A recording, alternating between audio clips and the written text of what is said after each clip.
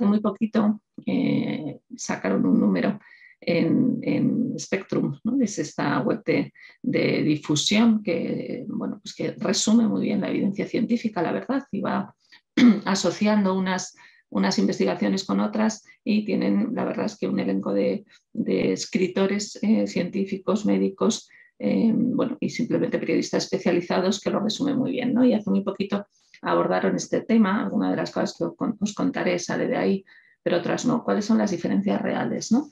entre el hombre y la mujer biológicamente, sobre todo entre el hombre y la mujer con autismo? Ya hace años ¿no? se viene hablando de esto, de que, bueno, eh, fue muy original al principio cuando se habló del efecto camuflaje, ¿no? el que las mujeres estadísticamente tienen mejor funcionamiento social o más capacidad de imitar o están más entrenadas para ello, eh, bueno, muchísimas cosas. Y entonces empezó a hablar del efecto camuflaje, que yo creo que ha sido, bueno, pues un, término que ha sido muy, muy bueno para dar, para visibilizar, ¿no? Para, eh, hoy Lola le ha dado otro término, me parece más preciso, ¿no? Acomodación social. Quizás son, bueno, pues no son incompatibles una cosa con la otra, son términos que ayudan ¿no? a la gente a entender de lo que estamos hablando. Entonces, bueno, pues se ha dicho mucho que, la cantidad de niñas que no se diagnosticaban eh, era, era, muy alto, ¿no? Em, y en primera persona eh, decía muchas veces que llevo toda la vida pretendiendo ser normal, ¿no? O pretendiendo, no sé la traducción correcta del inglés, sería disimulando, ¿no? Eh, queriendo parecer normal sería realmente. Y ya se ha dicho ¿no? que la cuestión de cuál es el número real de mujeres con autismo es importante. al final, lo importante es que a cada uno que padece un problema que le da dificultades a nivel funcional se diagnostique, no tanto que sea un problema común como un problema raro. ¿no? Hay muchas enfermedades raras y son absolutamente esenciales eh, diagnosticar porque son súper importantes para la persona que lo padece. Entonces, lo de si estamos en una, bueno, pues una ratio de 4 a 1 o 3 a 1, que parece que tiene más que ver con la realidad, pues quizás no es tan importante, pero identificar a aquellas personas que, eh, que se puede considerar que tienen autismo es relevante. Parece que hay muchas, ¿no? Sin diagnosticar, tanto en la infancia como en la adolescencia como en la etapa adulta. Y el no diagnóstico está claro que acarrea consecuencias negativas. Yo las que más veo son los problemas de salud mental, los problemas de autoconcepto, de adaptación, de sufrimiento, de sobrecarga a nivel social, pero bueno, hay muchísimos otros. Y además el acceso a los apoyos se ve repercutido ¿no? y, la, y, la, incomprensión por parte de los demás eh, también. Hay una revisión que es muy, eh, yo creo que es muy, está muy bien, de Donna Werling, que es una investigadora muy joven de, de San Francisco, donde resume un poco las diferencias eh, biológicas. Primero empieza con las diferencias de prevalencia y a pesar de que probablemente, como os decía antes, los números no son como los hemos venido entendiendo ¿no? hasta ahora o como los hemos venido resumiendo hasta ahora, que decíamos cuatro chicos por cada chica con autismo. Y si son de alto funcionamiento, mm, siete, ocho, nueve por cada mujer. Bueno, pues probablemente esos números son totalmente exagerados, ¿no? Porque, em, pero ese dimorfismo, esa diferencia, esa mayor presencia en varones que en mujeres eh, parece real es estable temporal y geográficamente, se mire como se mire. ¿no? Esto aquí están representadas en el esquema todas las formas de mirar la prevalencia. ¿no? Una es tirar de registros, de registros y ver cuántas personas están diagnosticadas eh, porque reciben unas ayudas sociales o porque están en los registros de, salud o de educación o de lo que sea. Eh, todas las maneras tienen su sesgo. ¿Cuántas personas nos vienen a la clínica y acaban con un diagnóstico de autismo. ¿Cuántos chicos por chicas? Ahí reproducimos siempre el 4 a 1. Pero eh, cuando uno se va a la población general y dice, hago un estudio epidemiológico y voy a no aquellos que ya vienen pidiendo ayuda, sino un poco a la población en general y hago un screening. Y si hay sospecha, entonces hago un diagnóstico, hago un diagnóstico fiable con todos los instrumentos. Entonces ya las ratios eh, bajan un poquito, ¿no? por ejemplo, hay un estudio reciente de una de las autoras de, y yo creo que la más protagonista ahora mismo en el seguimiento de instrumentos tan, tan estándar como helados, em, que concluye que los criterios de helados valen bien para las mujeres una vez que han llegado a la consulta, es decir, cuando son población clínica. Cuando son población general y vamos eh, con el instrumento a la calle, como si dijéramos, entonces se nos escapan muchos, hay muchos falsos negativos. También en la clínica hay falsos negativos, mujeres de alto funcionamiento a partir de una edad y sobre todo si han tenido entrenamiento o tratamiento psicoterapéutico, ayuda que salen falsos negativos en estas, en estas pruebas y hay veces que tenemos que basarnos más en historias del desarrollo, en instrumentos como el ADI, más que en ADOS para mujeres de alto funcionamiento. Bueno, eso es otra historia, ¿no? Pero al final, en conclusión, eh, lo mires como lo mires, se repite eh, esa diferencia en que hay más varones que mujeres eh, probablemente, bueno, pues de forma genérica en un 3 a 1 y en alto funcionamiento a saber, pues probablemente más cerca del 5 6 que del 7 8 que se decía antes. Si vamos a los aspectos eh, biológicos, ¿no? De eh, qué, dónde podemos mirar Esa, la parte que tenga que ver con lo biológico de las diferencias entre hombres y mujeres, ¿dónde lo podemos mirar? Pues lo más obvio es en la genética, en los cromosomas. Sabemos que las mujeres tenemos dos cromosomas X y el hombre solo uno. Diferencias hormonales, sabemos que las mujeres tenemos más estrógenos y los hombres más testosterona a lo largo de la vida que son responsables de los caracteres sexuales secundarios y durante el desarrollo embrionario también de la diferenciación a nivel cerebral y de desarrollo de los hombres y las mujeres. Y luego puede haber diferencias ambientales y sociales en las que eh, bueno, pues entrarán expertos en el tema. Entonces, la primera pregunta al respecto de la parte biológica, genética, eh, sería pues, eh, con métodos actuales intentar comprobar si realmente eso que se lleva diciendo muchos años, de que las mujeres están protegidas del efecto de los genes de autismo y que hacen falta más eventos, más problemas genéticos, más Em, factores de riesgo genético para que una mujer manifieste autismo, pues vamos a ver si con las últimas investigaciones em, confirman esto o no. Dentro de la genética, eh, ya vais oyendo, aunque sea un público general, hay muchos, mm, muchos aspectos, ¿no?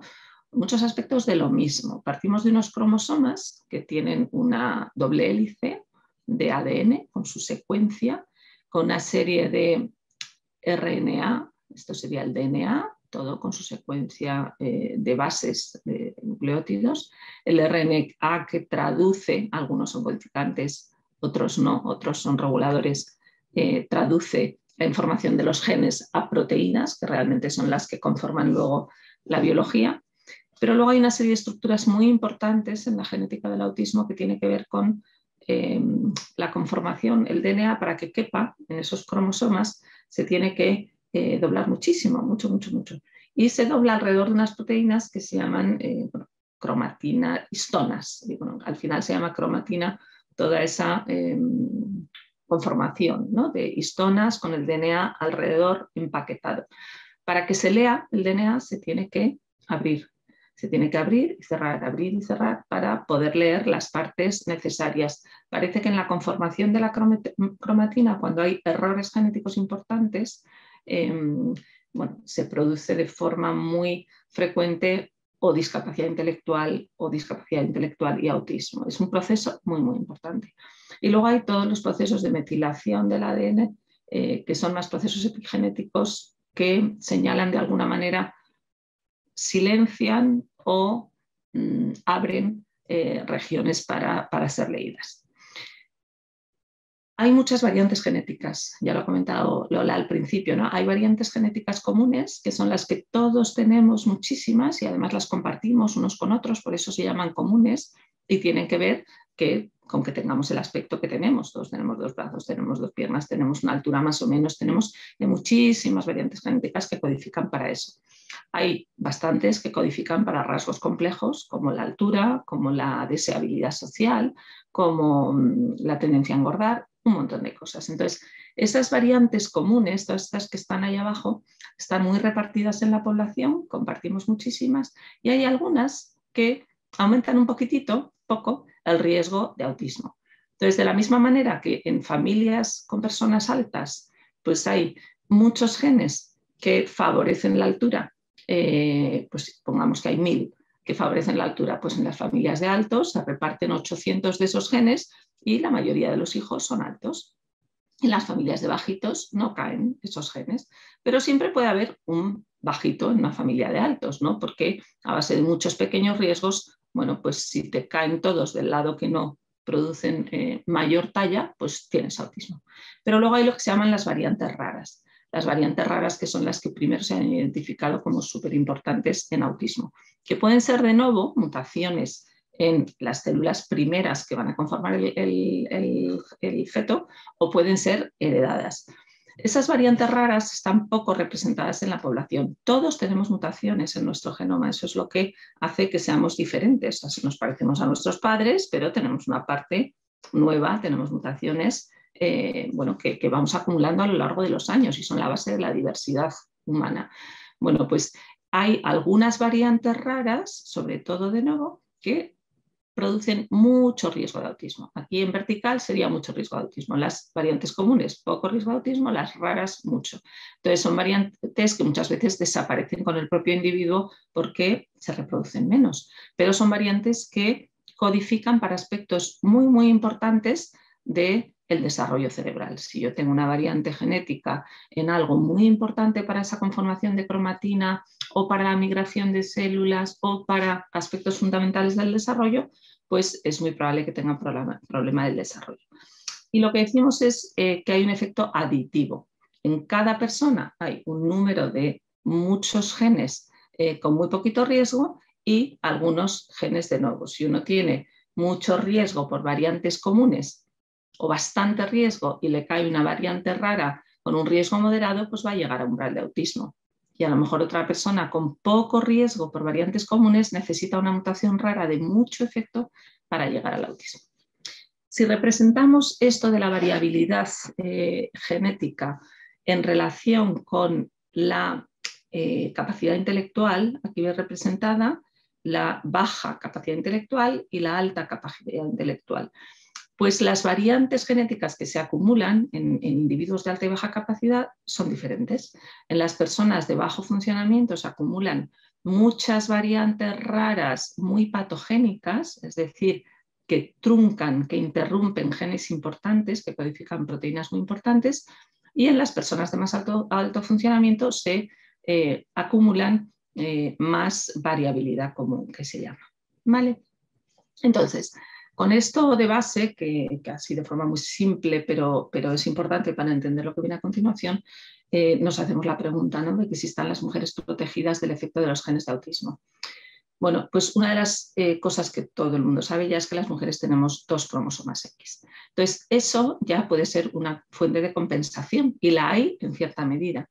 Sabemos que hay algunos eh, trastornos autistas, por ejemplo, que se relacionan con enfermedades genéticas que están en el cromosoma X entonces, si uno tiene una mutación en el cromosoma X importante, no es raro que como la mujer puede tener otro cromosoma X sano, pues pueda aportar ese problema, pero no padecerlo. En cambio, el niño que solo tenga un cromosoma X, pues va a padecer el problema porque no tiene un cromosoma X sano que tenga eh, esos genes para esas proteínas.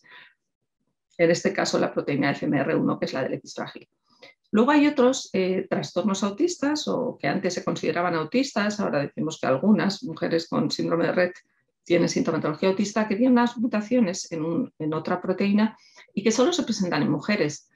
¿Esto por qué es? Pues porque eh, codifican para una proteína tan importante para la vida que además es necesario por lo menos una copia buena. Con lo cual, eh, las mujeres pueden tener red, los hombres no, porque con su único cromosoma X, si está eh, alterada esta proteína, es muy fácil que no sea viable ese feto, que no llegue a, la, eh, que no llegue a nacer. ¿vale? Entonces, por eso hay veces que se presentan solo en mujeres algunas. Se ha estudiado recientemente, sabemos que hay candidatos, genes candidatos de autismo, ahora mismo se habla como de, como de mil, son esos genes importantes, genes bueno, que, debemos tener bien, ¿no? porque si no podemos tener un problema del desarrollo. Bueno, pues esos genes que debemos tener bien, hay, eh, bueno, cuando se han hecho estudios de ver, algunos de ellos solo aparecen en mujeres autistas, algunos de ellos solo aparecen en hombres autistas, sí. Se ha visto que hay unos cuantos que solo están eh, en mujeres eh, autistas. ¿vale? Em, Este estudio quiso ver todo eso y entonces se encontró que había de 174 genes candidatos juntando las bases de las colecciones de autismo más conocidas, que, más, eh, que son públicas, como la de la colección Simons y, la, colección del, Autism Sequencing Consortium, que es otro eh, parecido de Estados Unidos, bueno, pues miraron esos genes y ahí encontraron 23 genes, 23 variantes en este, en este estudio que solo estaban en las mujeres. Miraron eh, la expresión génica, es decir, para qué servían, en qué partes del cerebro se expresaban estos genes y establecer unas redes funcionales. Cuando decimos que hay mil genes de, autismo, no decimos que hay mil causas posibles diferentes. Al final se juntan en solamente algunas funciones alteradas, ¿vale? que son estas que aparecen aquí, la comunicación intercelular, la organización de la cromatina, el desarrollo cerebral. Todos los genes que son candidatos de autismo se tienen que ver con alguna de estas funciones. Pues las funciones de esos genes que solo aparecían en las mujeres son las mismas, son las mismas, pero hay más genes que se expresan a la vez. Entonces, aquí lo que os quiero representar es esto. Eh, la cantidad de eventos, mutaciones genéticas en genes importantes en las mujeres, que son estas rositas, es mayor que en los hombres. De esas que son patógenas. En las que no son tan patógenas, no es significativo la diferencia entre hombres y mujeres. ¿vale? Lo que vemos en la clínica es lo que aparece aquí. Veis que hay, esto es el CI, la capacidad intelectual. Cuando hablamos de funcionamiento alto, varones en azulito, hay más varones que mujeres. Cuando hablamos de funcionamiento, hay más mujeres que varones. Es decir, para que la mujer llegue al diagnóstico de autismo, tiene que tener unos genes con una carga más potente o más cantidad de genes eh, patógenos. ¿vale? Esto resume em, de alguna manera esa variabilidad común. Esto es una curva de Gauss de la normalidad donde estaríamos todas las personas. Las que más riesgo tienen de autismo estarían en la parte derecha de la curva, las que tienen menos estarían en la parte izquierda de la curva. ¿vale? Riesgo de autismo. La acumulación de, efectos de riesgo genéticos en las mujeres tiene que ser mayor para llegar a un diagnóstico, ¿vale? Que los hombres. Entonces, imaginaos que tenemos una mujer aquí, yo misma tengo este riesgo de autismo. Pues si tengo una variante genética que me suma el riesgo de autismo, pues este monto, pues a lo mejor no llego al diagnóstico de autismo. En cambio, un hombre sí, si está en este mismo riesgo genético. ¿vale? O sea, parece que realmente sí hay un cierto efecto protector en el sexo mujer para desarrollar autismo. Si hablamos de algunas diferencias hormonales, pues conocemos eh, pues desde hace años los estudios de Baron Cohen, sobre todo de una eh, correlación entre la testosterona durante el embarazo y el riesgo de autismo. Y también conocemos estudios neuroanatómicos, los famosos que daban lugar a esto de la masculinización del cerebro eh, de las mujeres autistas, bueno, pues cuando vemos las diferencias cerebrales entre hombres y mujeres, vemos que las mujeres autistas se parecen más estadísticamente a los hombres normotípicos. Todo esto con solapamientos, porque no son categorías separadas, ¿no? Pues las mujeres tenemos una serie de características, los hombres tienen una serie de características y hay mujeres que son exactamente igual que un varón en su cerebro que, que, em,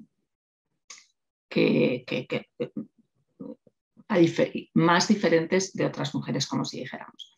El, el, último estudio en esta línea que tenemos es también del grupo de Baron Cohen, es este, del año pasado, de 100 mujeres embarazadas. Es un estudio longitudinal, donde se miran en el líquido amniótico, en el suero, perdón, los niveles de, hormonas sexuales en la mujer, se les hace un cuestionario de rasgos autistas a las propias mujeres y luego se hace un cuestionario, un MCHAT, pero para toddlers, para niños muy chiquititos, a las madres cuando el niño tiene 18 a 20 meses.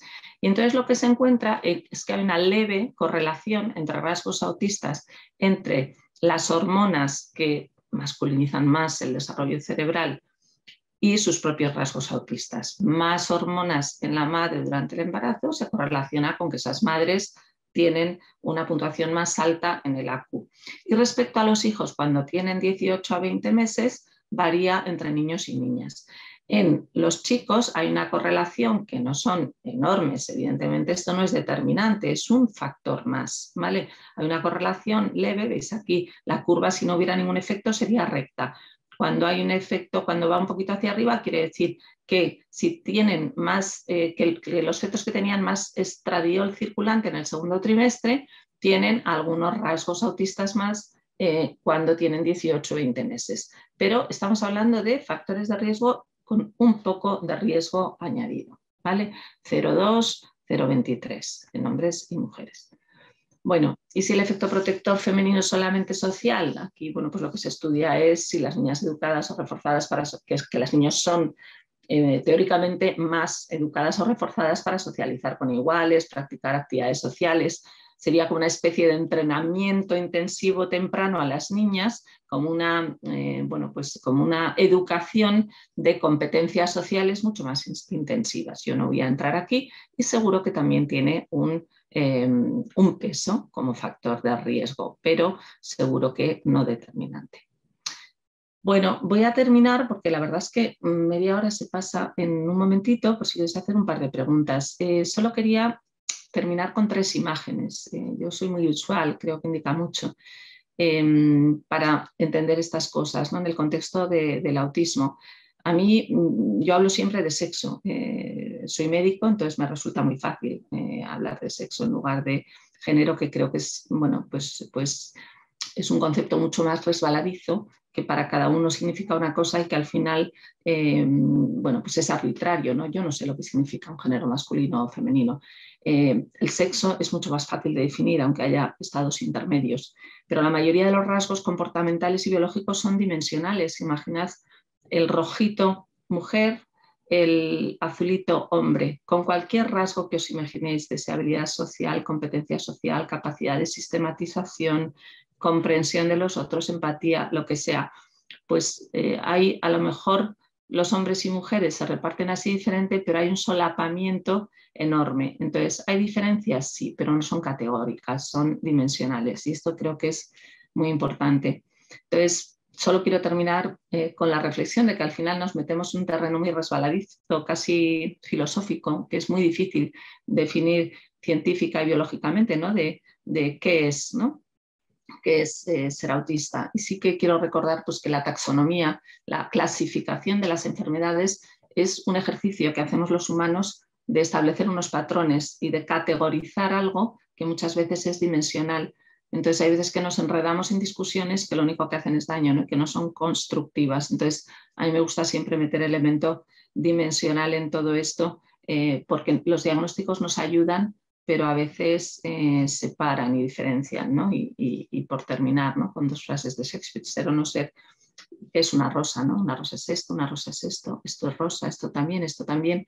Alguien cuestionaría si esto lo es o no. Entonces, ser o no ser a veces no es tanto como qué problemas tiene cada uno. Como clínicos lo que nos importan es las personas y si alguien tiene una disfuncionalidad y eso está asociado a una incomprensión en el mundo social, evidentemente hay que bueno, pues identificarlo, hay que eh, ponerle un nombre y hay que intentar ayudar a que esa disfuncionalidad asociada con eso eh, disminuya. Muchas gracias.